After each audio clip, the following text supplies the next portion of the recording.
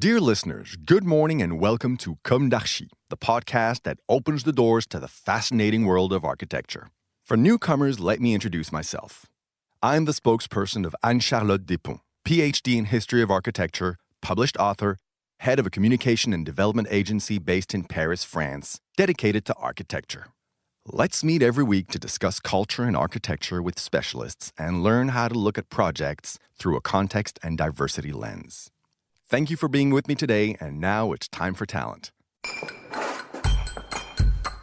Bienvenue dans Com d'Archi.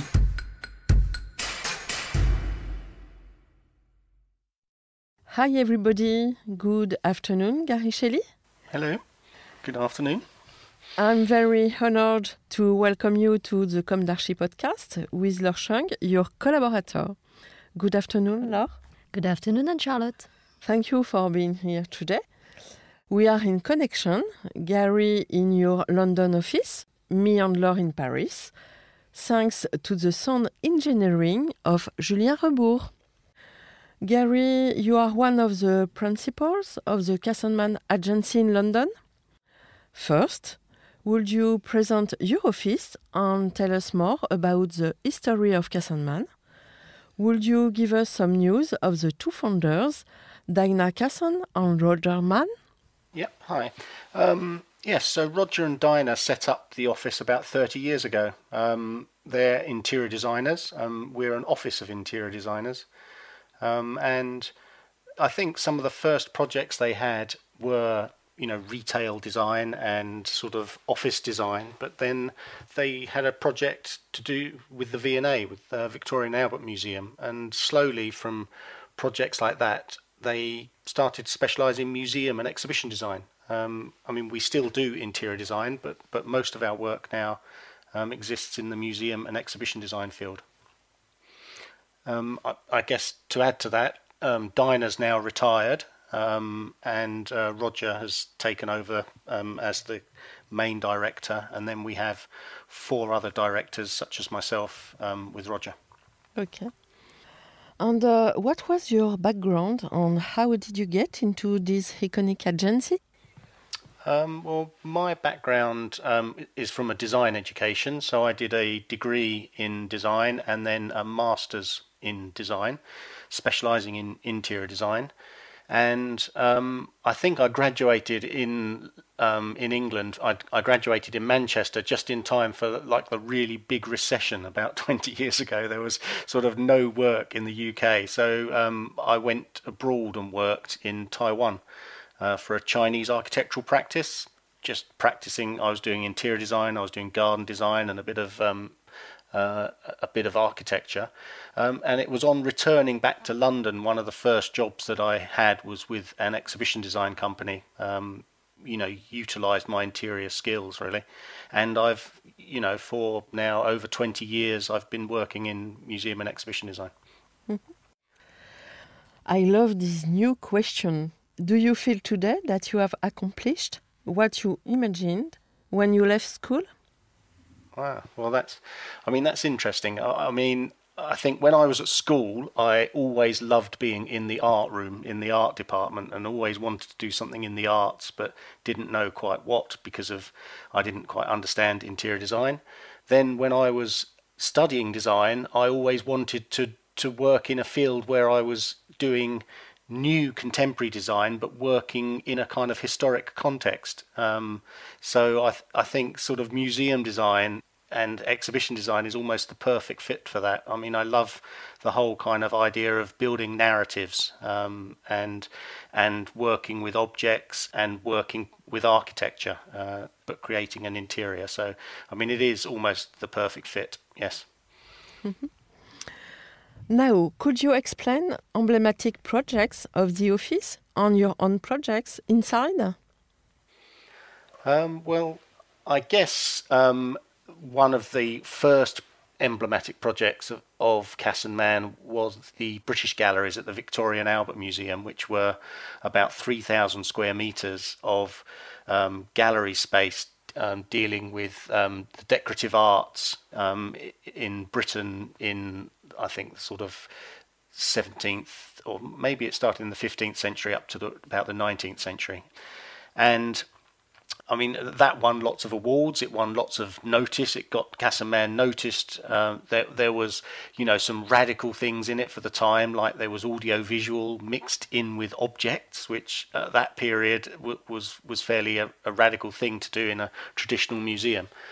I think the next big project that got Casson Mann noticed was the um, Churchill War Rooms, uh, which was a biographical space about Winston Churchill. And here, multimedia or media, digital media, was used much more extensively and really dictated the sort of style and pace of the gallery. And again, that, that won lots of awards. And uh, and and from that we, we've sort of built this sort of foundation of being able to take on projects that have a mix of objects and and multimedia um, and different sorts of media and sort of gel them together into a sort of cohesive um, narrative.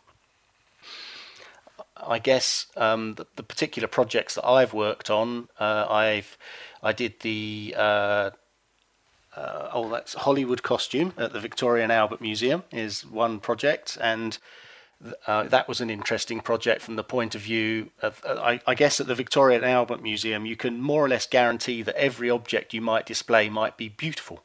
Uh, and a lot of their exhibitions are based on the beauty of the objects, whereas this particular exhibition, none of the objects were beautiful. They, they were clothes that were used um, in film um, and they kind of didn't make much sense on their own. So we again used a lot of digital media to to sort of put the character back into the clothes and and, and create and, and make a story um, and make sense really of of, of this collection. Uh, so and you know, from a museum that was at first reticent for using multimedia, this was more or less a complete multimedia show. It, it was, um, and it, it, proved to be um, very popular at the time. Um, I guess um, at the same time I was working on that, I was working. Uh, I started working on La Cité du Vin um, with Laure uh, in Bordeaux, and so I, that that was a five-year project. You know, more or less full time because um, of the scale of it, uh, and you know, I mean that that was great to start from being in a place where there was nothing, there was no building, to having not only a building but but a sort of a three thousand square meter exhibition narrative about um, about wine and man. And I've also worked on the Natural History Museum, the, the hanging of the whale in the main space of the Natural History Museum in London. And I generally work around the office as well. I help out on concept ideas and um, pitches. So, uh, you know, we, we just don't sort of fence ourselves off into one particular project. We, we, take responsibility for individual projects, but we still work across the board and sort of help each other out if and when necessary on other projects. Um, could you explain how you win some project in France? Um, yeah, I mean, I, La Cité du Vin was the first, um, and I mean, it was a surprise to us that we won it, to be quite honest. Um, there, you know, uh, we it was a an open competition, uh, and I guess it was a competition that was anonymous as well. But you know, for the idea of English designers um, designing a project about wine in France, we, we thought that it was completely unlikely that you know that, that we would uh, we would get this project.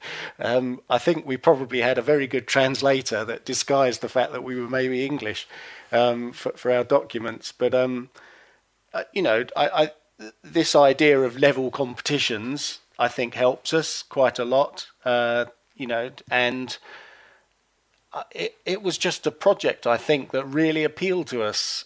Uh, we'd started working on a few projects like it. This idea of projects that are about ideas rather than about collections, about museum collections, and um, we had been exploring a few projects along that line that we, we, we hadn't won, and then when the one came up in in France, we we put a lot of effort into it, um, and I think, you know, I think that there's that there was a certain th- uh, thinking um, and the and sort of way we were designing that I think appealed to the client. And I think a couple of those things that appealed to clients in France was how we were working with the architects and how we were working with the architecture, and that there was a synthesis between us and the architects. Um, and um, I think the other thing that might have appealed was just the fun that we had with it, that we really, you know, imaginatively really went for it. Um, and I, you know, I, I, think that's how we won that project. Um, Certainly, English people are the best wine lovers all over the world. yes, we've got the reputation of being the, one of the biggest import markets for wine. I think, yeah, and uh, and I think also historically, I, I, guess the relationship between the UK or Britain and Bordeaux, you know, there's a, a, a historic relationship there that goes back to, you know, Richard the Lionheart, um, you know, the Plantagenets and um, and trade from then on. Um, Good. And um, what is the main differences between the interior design and the scenography? Uh, I, think how how we work is um, as interior designers. I think we're very particular about materiality and form, and and we pay a, a close attention to that. And and say at, like at La Cité du Vin, we tried to make forms that were representative of of each of the subjects that we were um, exploring, each of the subjects that we were presenting, and those forms have, um, you know, it's just not a shape that you see it's a texture that you touch it's the materials that you can see that it, um, that it's made from but then it's also the media and how the media works in that uh, particular piece of furniture or that particular space that I think distinguishes you know one of our projects that you have this synthesis of you know object space furniture material and media um, all to try and harness this uh, all these tools in the service of, of the narrative and, and the idea that needs to be communicated um, to, to the public. Mm-hmm. And one of the main challenge, uh, if uh, I have to add to this project, is that that needs to be 20 module that we design that should all looks different with uh, different approach and different um, visa experience. Mm. Yeah, I mean, it was hard not to run out of energy on some of those meetings that you would get, you know, day two of the meeting and you're still only on module 11 or something. And you, you think, well, I've got another, you know, so, you know, uh, but I think it was, yeah, the difference of each module. Um, and, uh, you, you, know, the, I guess the fun we had with it, we, you know, there's there's sometimes a lot of humour in our work, and I think that sort of helps with communication, um, you know, to, to the public. Mm-hmm. What do you think are the main differences between the English and French working methods? Ah. Yes, well, I mean, well, the main dif- difference for us is that we're a kind of medium sized office. And uh, as far as I understand in France, I don't think there's sorts of an office that's our size. You either get quite small offices or you get very quite large offices. Um, and so when we are often competing against other French companies, that they, seem to be often groups of um, co-contractors. You know, they, they would put um, a group of uh, individuals together, whereas we're actually an office of 20 um, that, uh, and 20 people that have worked together for a long time. And we feel we have quite a lot of creative capital and a sort of synthesis of the way that we work um, together. I, I think, you know, that that's that's one of the differences. Um, I think when actually on the ground working on projects in France, um, there's I think there's a difference in the amount of trust and the amount of responsibility you get as a designer in France compared to maybe the UK.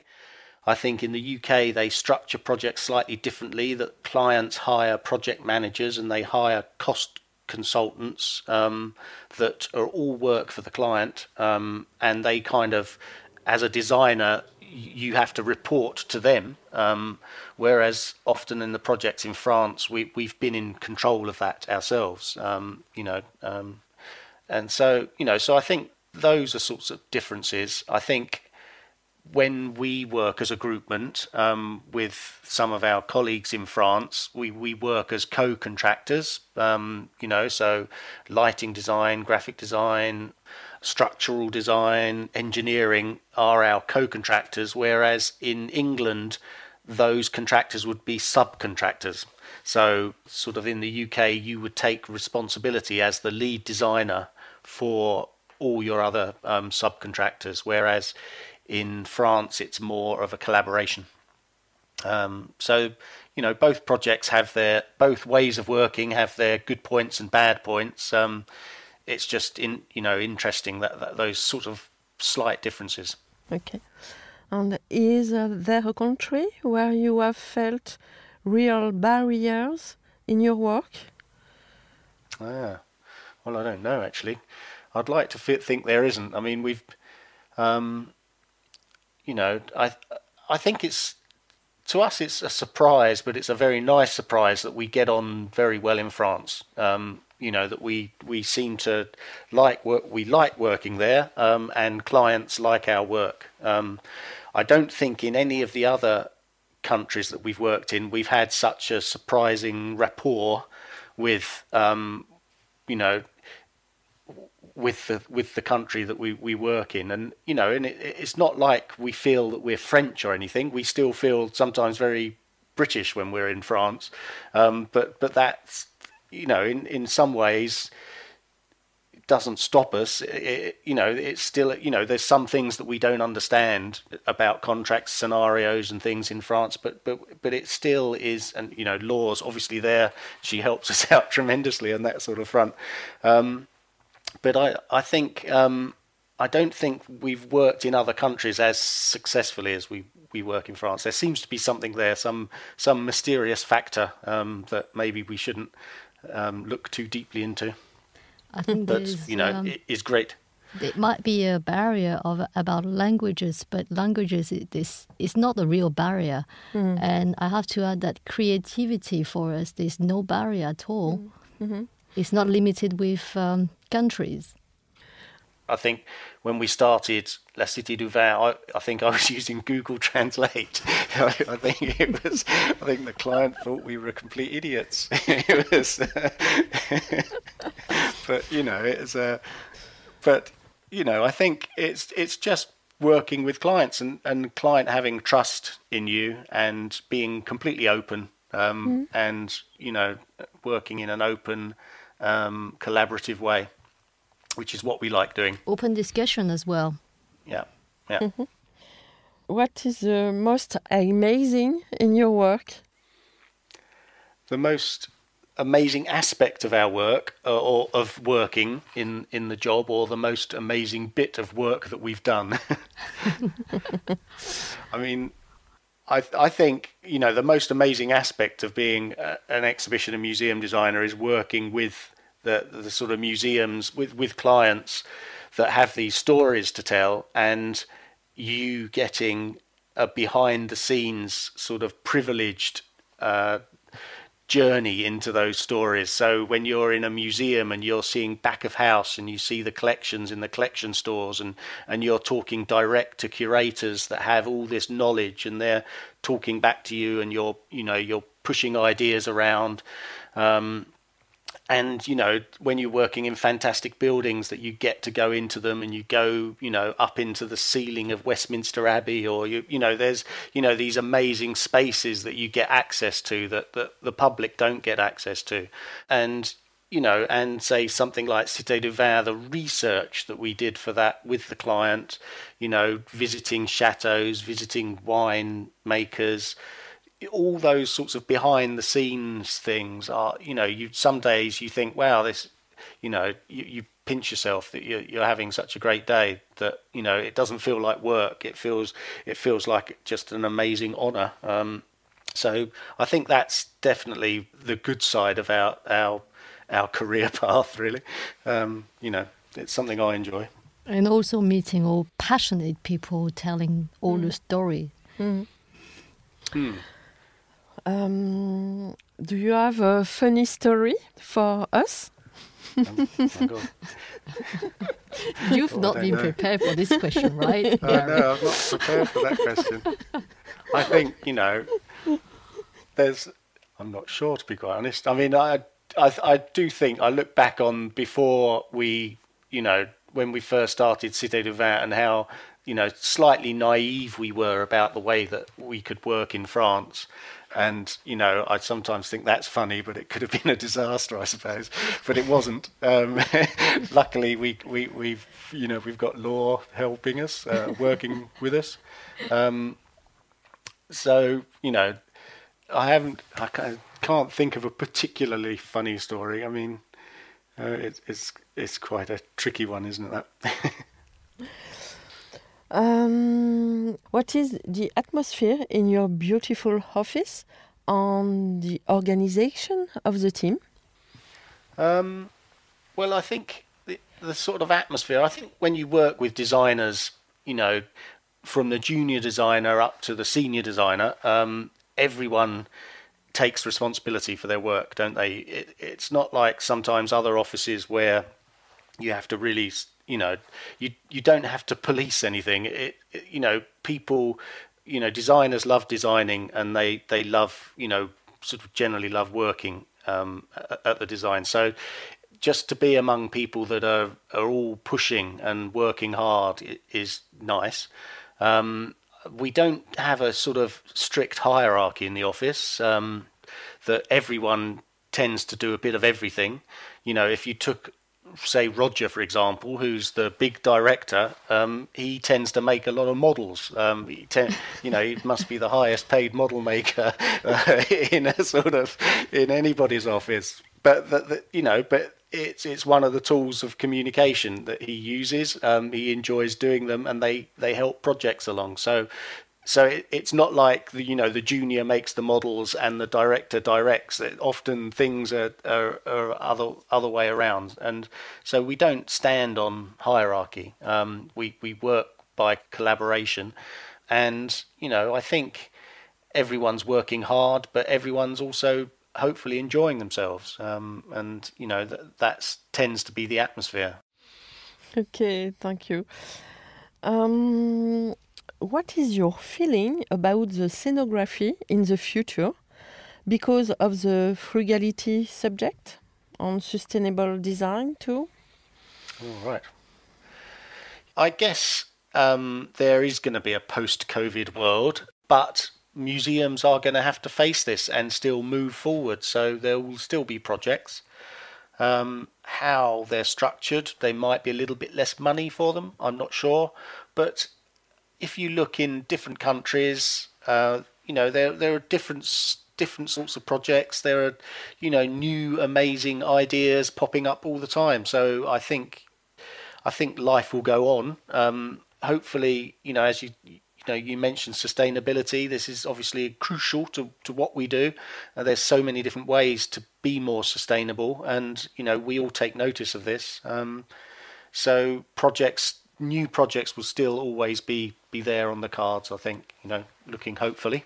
Um, You know, if if anything, lockdown has proved you know people are desperate to go and do things. You know, and you can only do so much in on screen and at home, and people want to get out and do real things. You know, see real objects, be in real spaces, mix with other people, um, and you know, museums are, are perfect for that, really. What advice would you give to design students today? Oh gosh. Um, Design or scenography students? yes, I mean there there aren't necessarily specific um, scenographic courses. I don't think there might be one in the UK, but generally, you know, we take on interior design students, and for us, it's always you know talking to students that have understood an idea and followed it through you know to to the the biggest conclusion that they can take it and if they can explain it back to you you know so it's always about trying to understand what you're doing um, and then doing it with passion uh, so and and then the next best thing they can do is try and make some contacts in design agencies and get you know get interviews um, and get some work. Um, but uh, I mean, I think I when I left my degree, I didn't really have much of a clue what I wanted to do or how to do it. It was only really after doing an MA that I I felt you know a much stronger bond with design um, and a clearer idea of what design was. Uh, so sometimes to students I say stay being a student because um, it's you know you can the more you learn the better. so anything else? The last um, word? the last word. Uh, I'm not sure. Your future project all over the world? All right. Oh, good. Yes. Yeah. That's um, so. We've got. Um, well, we're working on two projects in France at the moment. Um, one is the the the Maritime Museum in Paris. Um, so that opens next year. Is it finished? 2022. 22. Yeah. Yep. Um, we have a project in Champagne which is more yes. or less finished now, that should open this summer. So they're exciting. Um, there's also, I'm working on the new Holocaust galleries at the Imperial War Museum in London, so mm. they should be open this year. So, you know, there's a lot of exciting stuff that we're doing. Um, we're obviously looking for more exciting stuff to do. Um, and, you know, looking potentially for other countries to do it in. Um, Brexit potentially isn't helping us much. Uh, but, uh, you know, pre Brexit, it was always so easy. Now it might be slightly more difficult, um, but we're, we're trying to face that challenge. Mm-hmm. So and we are probably looking for more projects in France then. In France, definitely. um, many, many thanks, Gary and Laure, for your confidence. I wish you the best and for your beautiful office. Bye bye, everybody, and see you next Wednesday for our new Com d'Archi in English. Take care of yourself. Bye. Thank you. Bye.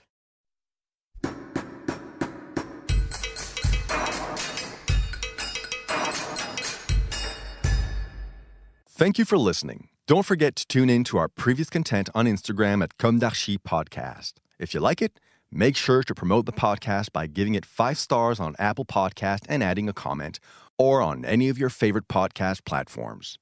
And don't forget to subscribe and listen to all of our episodes for free. See you soon, and until then, take care of yourself.